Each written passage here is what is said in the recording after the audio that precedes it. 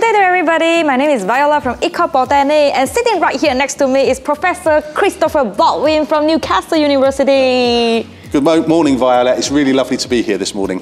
Professor Baldwin, can you share with us a little bit history of your university and why the decision was made to open a campus in Malaysia? The, the university started here 11 years ago, although the decision was made slightly before that. The original decision to come to Malaysia was to provide affordable, high quality UK education in medicine for Malaysian students, but also for students across the ASEAN region. But having said this, what are the main courses do you offer here in Newcastle University? So the three courses that we offer here, we offer medicine, which is a five-year course, biomedical science course, and then we have a foundation in science, which we introduced about four or five years ago now. And the foundation in science will allow you to study our programs here in Malaysia or to go on to the UK. What are the teaching methods implemented here? Is it any difference from the one that you have done it in UK? We teach in exactly the same way as the UK. We believe that sometimes we go to UK to study and we get accredited like degree in mm -hmm. UK and mm -hmm. stuff like that. So are, are they locally or internationally accredited? So our medicine degree is accredited by both the Malaysian Medical Council but it's also accredited by the General Medical Council, which is the UK Medical Council. Our, actually, our medical degree is also accredited throughout the world. Effectively, is when you graduate from our medicine degree, you can go into practice in Malaysia or you could go into practice in the UK. But of course, I do see that there are a lot of international students here. So where do most of your students hail from and why do they decided to come to Edu City in Iskandar, Malaysia? Well, I think we have now about it's at least 20, if not 30 different nationalities here oh. with students. So we've got a lot of, uh, of, students from, from all over the world. And I think one of the advantages of a small campus is people should interact with international students. And I think people do, especially on the medical degree, people work together, they interact well, they, they, they really get to know each other. Um, they're students across from different countries here because they feel it's safe. It's a safe environment here in, in, in Edu City, but also in, in, in Johor Bahru, it's very safe um, and, and, I would always advise students to come here. Of course, nice weather, nice food, nice environment and all, right?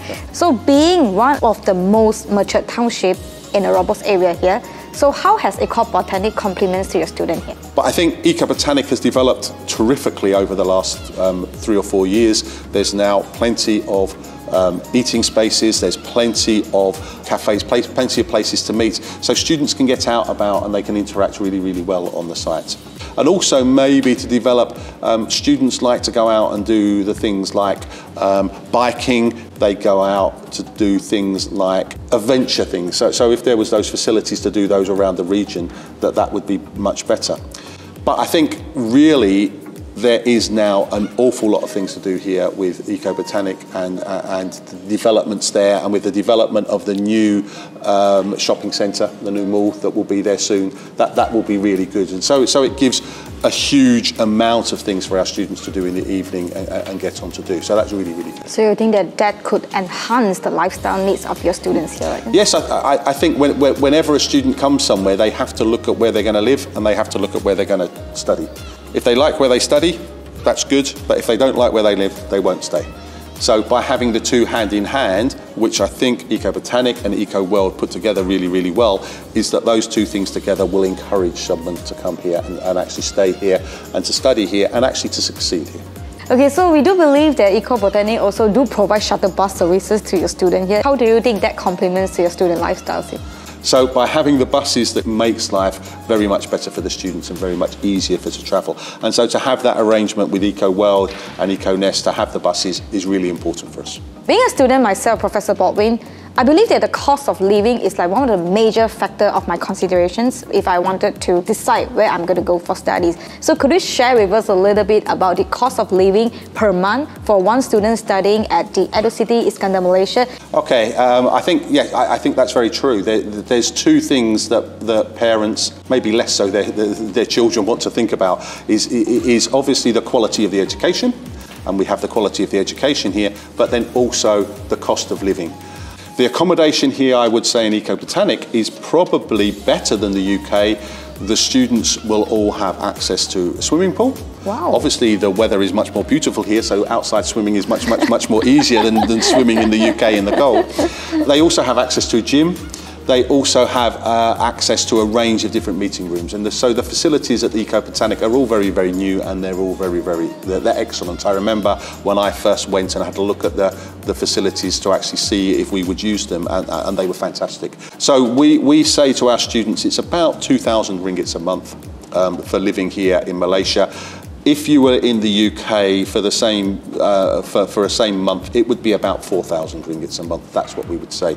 But how do you think the securities are like if let's say they were to stay up late in the library and they would have to go back to Econest quite late or so? Mm -hmm. So what do your student think about the security around here? Well, I think firstly, we have security on campus, so we have very strong and good security on campus. But also, Eco Botanic has, has excellent security. So, so we have our own dedicated staff who look after our students, but Eco Botanic and, uh, and Eco World have security on site in, in, in Eco World. And the feedback that I get from my students is that they feel very safe. We're indeed thrilled to know that Eco Botanic actually implements in the lifestyle needs of the students in Edu City here right here. So I guess that's all for our interview session for today and thank you so much Professor Baldwin okay. for your time, for taking your time uh -huh. out with us and we look forward to our future collaboration uh -huh. and to see more youngsters roaming around Eco Botanic. I'm sure that as we continue to develop, we'll have more students and it, and it will develop more and, and the whole area will develop much better. Yes, we wish them the best of the very best and have a magical day ahead. Okay, right, thank you very much.